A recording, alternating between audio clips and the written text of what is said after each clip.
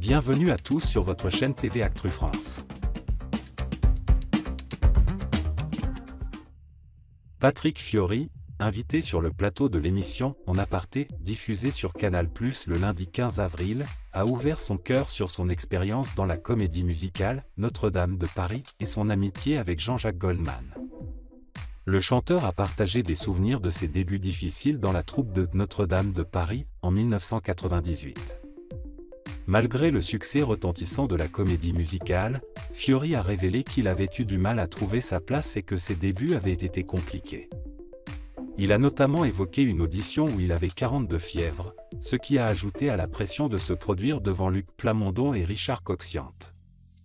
Bien que la comédie musicale ait été un énorme succès, Fiori a confié qu'il n'avait jamais envisagé de faire carrière dans ce domaine. Il avait d'autres projets artistiques en tête et ne voulait pas être étiqueté comme un chanteur de comédie musicale pour le reste de sa carrière. En plus de parler de sa carrière, Fiori a abordé son amitié étroite avec Jean-Jacques Goldman.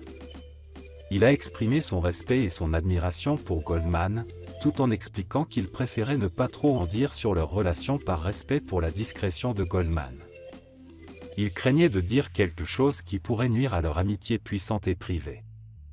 L'interview a permis à Fiori de se livrer avec sincérité sur les hauts et les bas de sa carrière, ainsi que sur les relations importantes dans sa vie.